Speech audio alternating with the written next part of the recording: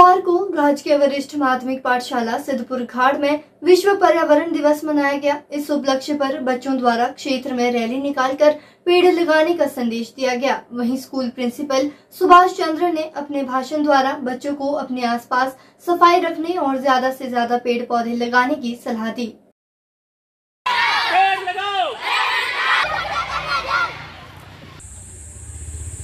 आज राजकीय वरिष्ठ माध्यमिक पाठशाला सिद्धपुर घाट में शहीद सुभाष चंद्र इको क्लब के तत्वाधान में विश्व पर्यावरण दिवस मनाया गया, जिसमें हमारे विद्यालय की incharge Shrimati Meenu madam, TGT medical ने इस कार्यक्रम को आयोजित किया और सभी अध्यापकों ने इसमें बढ़ चढ़ कर भाग लिया।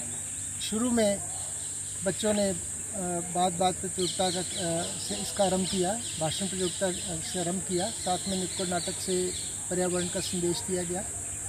और इसके साथ साथ बच्चों ने विद्यालय की सफ़ाई की और पूरे गाँव में एक संदेश देने के लिए एक पर्यावरण रैली का आयोजन किया गया और इसके पश्चात विद्यालय में पेड़ लगाए गए और यह संदेश देने का प्रयास किया गया है कि पेड़ हैं तो हम हैं।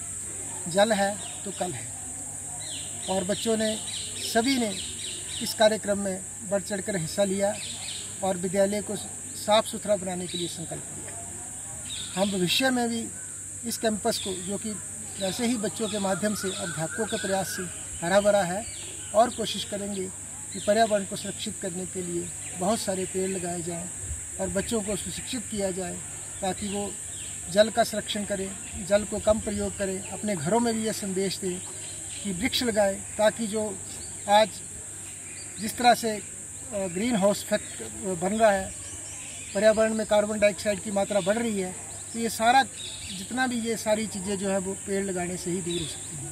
सिटी चैनल के लिए फतेहपुर, कांगड़ा से रविंदर चौधरी की रिपोर्ट।